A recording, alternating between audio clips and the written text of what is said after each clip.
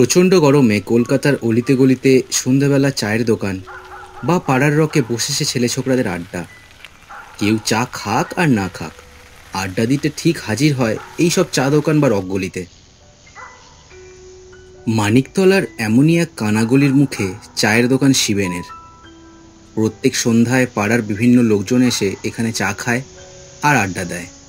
আজও এক এক করে সব এসে জুটছে। মনীন্দ্র বসে চা খাচ্ছিল। করালি এসে বসল তার সামনে। মনীন্দ্রর পাশে বসে একটানা ফোনে কি একটা করে যাচ্ছে নরেশ। ওহ অফিসে যে কি চলছে রে ভাই। বস একেবারে রক্তচোষা পিসাচের মতো ঘাড় ভাঙছে রোজ। সব একই অবস্থা রে ভাই। পারলে আমাদের ছুটি না দিয়ে খাটিয়ে খাটিয়ে ভূত করে দিতে পারলে বাঁচে। তা যা বলেছিস। এই হতভাগাটা। কি দেখছিস ফোনে? ঢুকে যাবি তোরা এবার। নরেশ হাতের ফোনটা নামিয়ে তাদের দিকে চোখ তুলে তাকালো। হারে আর বলিস না ভাই কি একটা নাকি সব মারাত্মক রোগ ছড়াচ্ছে আবার। এই সেদিন এত বড় ধাক্কা খেয়ে উঠল সবাই। আবার সব শুরু হলে আর দেখতে হবে না। তার কথা শেষ হতে না হতেই কড়ালির পাশে ধপ করে এসে বসলেন শৈলেনবাবু। পাড়ার বৃদ্ধ হলেও ছেলে ছোকরাদের সাথেই তার আড্ডা। তার বয়স এখন প্রায় সত্তরের ওপর। কি হ্যাঁ? মহামারী নিয়ে কথা হচ্ছিল শুনলাম। হ্যাঁ ওই আর কি। আরে শিবেনদা শৈলেন কাকুর জন্য এক কাপ স্পেশাল চা দিয়ে যাও। হ্যাঁ রে ভাই দাঁড়া যাচ্ছি। বেশ বেশ এখনও তোমরা বড়দের খাতির টাতির করো। এসব দেখেই ভালো লাগে। তা কি মহামারীর কথা যেন বলছিলে, নরেশ? হ্যাঁ এই নেটে দেখলাম। খবরেও তো দেখাচ্ছে। আবার কি একটা রোগ নাকি পাওয়া যাচ্ছে নানা দিকে। তাই বলছিলাম, আবার দু হাজার কুড়ির পুনরাবৃত্তি না হয়। আরে না না ও সব আর কিছু হবে না। আর এখন নেট আছে, কোথাও কিছু হলে এক মিনিটেই সব আমরা জেনে যাচ্ছি। কিন্তু যখন আমি নিঝুমপুরের স্বাস্থ্যকেন্দ্রে কাজ পেয়েছিলাম তখন এসব কিছুই ছিল না বুঝলে তো? এই জন্যেই তারা খাতির করে শৈলেন বুড়োকে।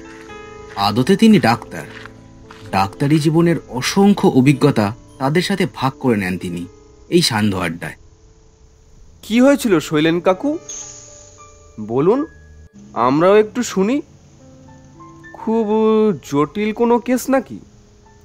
কেস আরে না রে ভাইপো এতদিন তোদের যা বলেছি সব ডাক্তারি জটিল কেস হলেও আজ যা বলব হয়তো তোরা বিশ্বাসও করবি না। আরে বলোই না কাকা বিশ্বাস অবিশ্বাস তো অনেক পরের কথা। বেশ। তবে শোন আমি যে সময়ের কথা বলছি তখনই হবে সাল উনিশশো সত্তর বা পঁচাত্তর। তখনও আঠেরোশো কুড়ির মতো আবার কলেরার মড়ক লেগেছে বাংলার বিভিন্ন প্রত্যন্ত গ্রামাঞ্চলে। যদিও টিকা আগেই আবিষ্কার হয়েছে, কিন্তু সবার জন্য সহজলভ্য হলো তো এই সেদিন। আমার তখন সবে তেইশ বছর বয়স। চাকরি পেলাম মালদার প্রত্যন্ত এক গ্রাম, নিঝুমপুরে। গ্রাম না বলে সেটাকে গণ্ডগ্রাম বললেও ভালো হয়।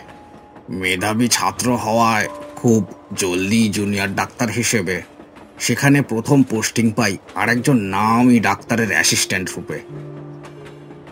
তখন প্রায় সন্ধে, যখন আমার ট্রেনটা নিঝুমপুর স্টেশনে গিয়ে থামলো। আকাশ একেবারে ঝকঝকে পরিষ্কার গরমকালের সন্ধে আর কি। আমাকে নামিয়ে দিয়ে ট্রেনটা ঝমঝম করে চলে গেল নিজের গন্তব্যে। নিঝুমপুর খুব ভালো জনবহুল না হলেও আশা করেছিলাম স্বাস্থ্যকেন্দ্র থেকে কাউকে অন্তত তারা পাঠাবে। কিন্তু অবাক হয়ে গেলাম, কোনো জনমনুষ্যের দেখা না পেয়ে। বাধ্য হয়ে ব্যাগটা বগল দাওয়া করে সেই অন্ধকারেই সামনে টিকিট ঘরের দিকে হাঁটা দিলাম। স্টেশন মাস্টারের ঘরের সামনে একটা লোককে দেখলাম। হয়তো স্টেশনের কর্মী। লোকটা ফুক ফুক করে বিড়ি টানছে। এই যে ভাই, স্টেশন মাস্টারকে দেখছি না? কোথায় তিনি? লোকটা হাতের বিড়িটা ফেলে দিয়ে আমার দিকে জুল জুল করে তাকালো। স্টেশন বাবু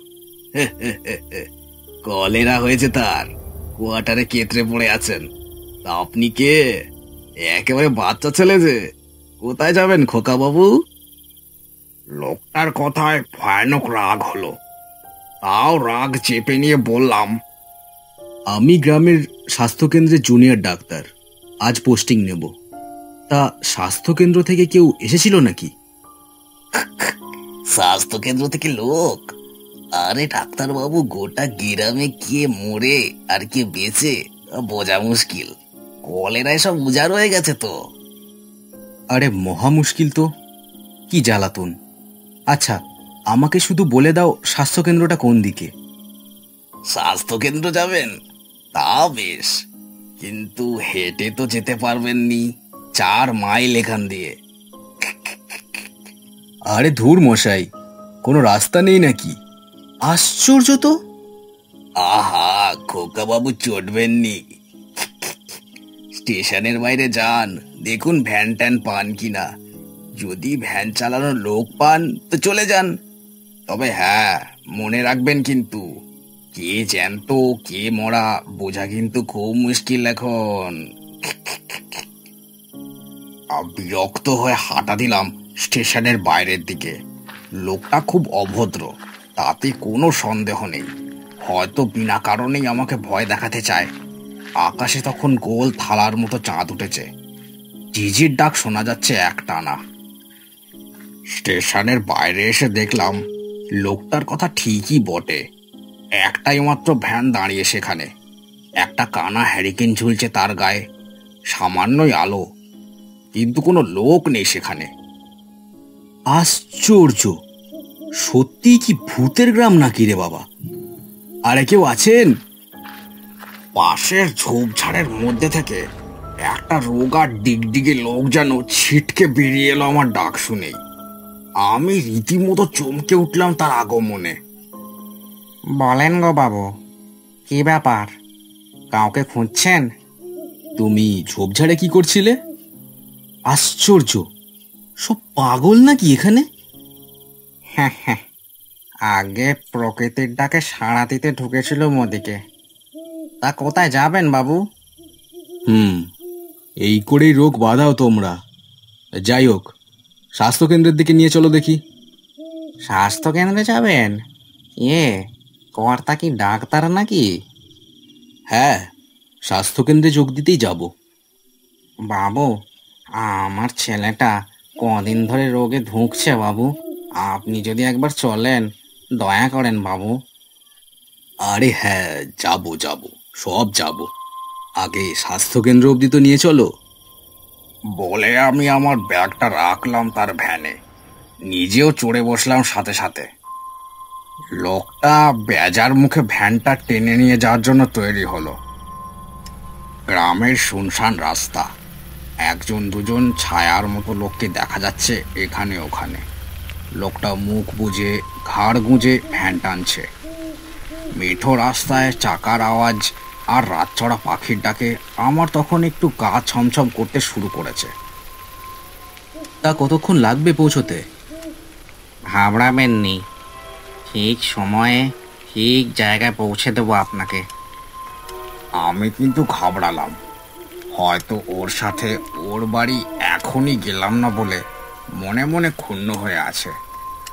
যাক দিয়ে ভালোই ভালোই আমায় পৌঁছে দিক আর কিচ্ছু চাই না। মেঠো রাস্তাটা ছেড়ে ভ্যানটা এবার লম্বা একটা বাঁশঝাড়ের মধ্যে ঢুকলো। বাঁশঝাড়ের অপর প্রান্তের শেষ দেখা যাচ্ছে না। ঘন কালো অন্ধকারের চাদর যেন পাথরের দেয়ালের মতো চারদিকে দাঁড়িয়ে আছে। বাঁশঝাড়ের মাঝামাঝি এসে ভ্যানটা হঠাৎ থেমে গেল। ভ্যান চালক এক লাফে নামলো। আমি এবার ভয় পেলাম। ছিনতাই করতে চায় নাকি রে বাবা। আরে কি হলো? নেমে পড়লে যে হঠাৎ? কি হলো? ভ্যান চালকটা আমার দিকে ঘুরে তাকালো। একেবারে পাথরের মতো কঠিন তার মুখ। আমিও ততক্ষণে নেমে পড়েছি ভ্যান থেকে। হাত বাড়িয়ে ব্যাগটা টেনে নিয়েছি নিজের কাছে। না লড়ে কিচ্ছু দেব না বেটা চোরটাকে। কিন্তু আমাকে অবাক করে দিয়ে ভ্যান চালকটা বলে উঠল, জানিস ডাক্তার বাবু গত কয়েক মাসে কত লোক মরেছে এই নিজমপুরে এই গ্রামে এখন কে জানতো আর কে মরা, বোঝা খুবই মুশকিল। মানে? কি বলতে চাইছো? লোকটার হঠাৎ যেন চেহারাটা পরিবর্তন হতে শুরু করল। বিভৎস নরকঙ্কালের মতো দাঁত বেরিয়ে এলো তার শুকনো মুখ থেকে। চোখ দুটো ঢুকে গেছে গর্তে। হাওয়ায় ভেসে উঠল সে আমারই চোখের সামনে। কে? কে তুমি? ধুঁকে ধুঁকে যখন মরলাম তখন কেউ দেখল না। এখন স্বাস্থ্য কেন্দ্রে গিয়ে ডাক্তার সেজে বসে কি হবে? আর থেকে আয়। ওর ঘাড়টা ভেঙে রক্ত চুষে খাই। অন্তত পেটটা তো ভরবে। আমার তখন জামা কাপড়ে হয়ে যাওয়ার মতন অবস্থা। এক হাতে ব্যাগটা বগলে চেপে ঠক ঠক করে কাঁপছি। মূর্তিটা একবার জিভ বার করে দাঁতের পাটি চাটলো তার। নরমাংসের লোভ যেন ঠিকড়ে বেরোচ্ছে তার দু চোখ দিয়ে। এমন সময় হঠাৎ বাঁশ গাছগুলোর ওপর থেকে প্রবল ঝটাপটির আওয়াজ এলো, যেন কেউ বাঁশ গাছ বেয়ে নেমে আসছে। অবাক হয়ে দেখলাম, রোগা কালো হাড় গিলে বেশ কিছু মূর্তি বাঁশ গাছগুলির ওপরে। কেউ এক হাত পায়ে ঝুলে আছে তো কেউ চার হাত পায়ে গিরগিটির মতো নেমে আসছে। হঠাৎ তাদের মধ্যে থেকে একটা মূর্তি বলে উঠল ভাগা একা একা ভোজ মারবি নাকি? আমাদের এলাকায় ঢুকে আমাদের ওপর চালাকি ঘোড়া ডিঙিয়ে ঘাস খেতে চাইছে রে।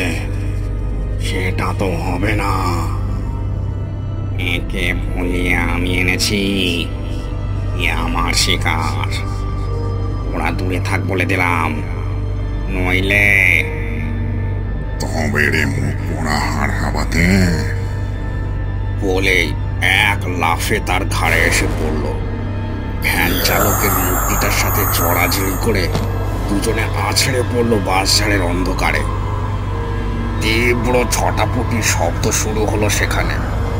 আমি দাঁড়িয়ে দাঁড়িয়ে হতবাক হয়ে সব দেখছি। চারদিকের বাস ছাড়ে তখন যেন অট্ট হাসি আর প্রেতের চিৎকারে কানে তালা লাগার মতো। সবার নজর কে যেতে আর কে হারে তার দিকে। এমন সময় আমার হাতে যেন একটা টান অনুভব করলাম। মুখ ঘুরিয়ে তাকিয়ে দেখলাম স্টেশনের সেই লোকটা আমার হাত ধরে টানছে।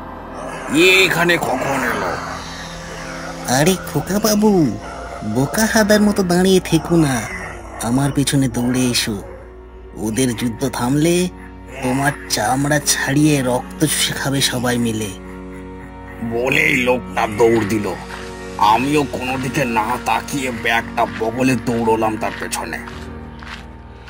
বাঁশঝাড় মাঠ ডুবার ধার সব পেরিয়ে ছুটছি দুজনে ঊর্ধ্বশ্বাসে। কোথায় যাচ্ছি তা জানি না।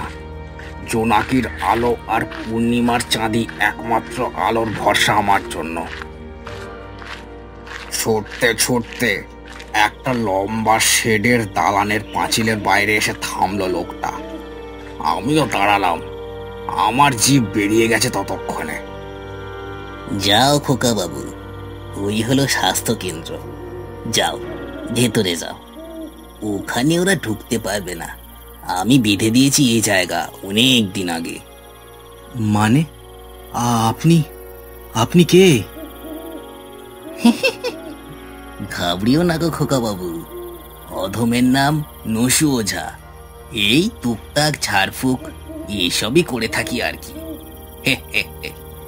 তা তোমাকে তো সাবধান করতে চাইলাম স্টেশনে। তুমি তো শুনলে না। তাই বাধ্য হয়ে ওখানে গিয়ে তোমায় উদ্ধার করে আনতে হলো। যাও, ভেতরে যাও। এখানটা নিরাপদ নয়। আমার নাম বলো, স্বাস্থ্যকেন্দ্রে সবাই আমাকে চেনে।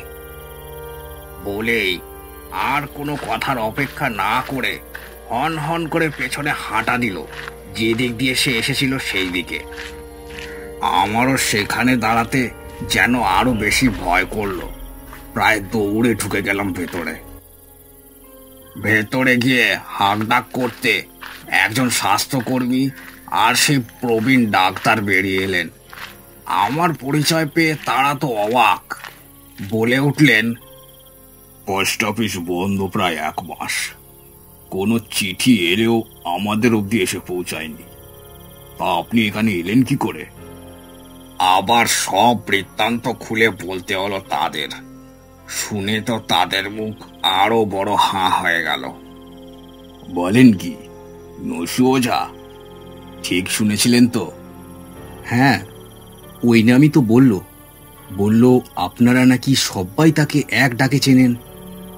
হুম, দেখুন, গত পরশু অনেক দিন ধরে রোগে ভুগে ভুগে এই নসু ওঝা মারা গেছে। সত্যি এ গ্রামে এখন কে জীবিত আর কে মৃত বোঝা মুশকিল। কথাটা শুনে এতক্ষণে আমার মাথাটা তুলে উঠল। চোখ উল্টে সেখানেই আমি ধপাস করে পড়ে গেলাম। একটানা এতক্ষণ কথা বলে শৈলেন বুড়ো চুপ করলেন। সকলে হাঁ করে তার গল্প গিলছিল। শিবেন্দাও চা বানানো ভুলে হাঁ করে তন্ময় হয়ে সব শুনছিল। ইয়ে করালি, তুই তো ওই খাটালের গলির পাশ দিয়ে যাস। আমাকে একটু বাড়ি ছেড়ে দিবি ভাই। শৈলেন বুড়োর গল্প শুনে সকলের সত্যিই মনে হচ্ছিল সেই ভুতুড়ে গ্রাম নিঝুমপুর যেন এই খাস কলকাতার বুকে জেগে উঠেছে।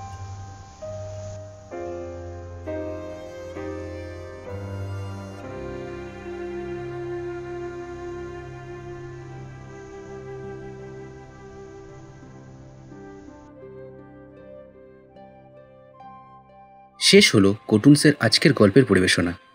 আজকে আমার সাথে ছিল চ্যানেল অদেখা দৃশ্য। অদেখা দৃশ্য চ্যানেলেও ঘুরে এসো তোমরা সবাই। আর আজকের গল্পটি কেমন লাগল তা আমাকে কমেন্ট করে জানাতে ভুলো না। চ্যানেলটিকে সবাই সাবস্ক্রাইব করে দিও। আর গল্পটিকে শেয়ার করে দিও তোমার বন্ধুদের সাথে। দেখা হচ্ছে পরের ভিডিওতে সবাই খুব ভালো থেকো।